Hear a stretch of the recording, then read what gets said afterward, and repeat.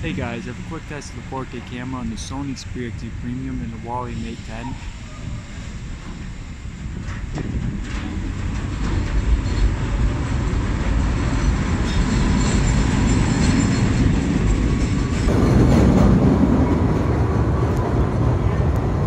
And filming this in Queens, New York.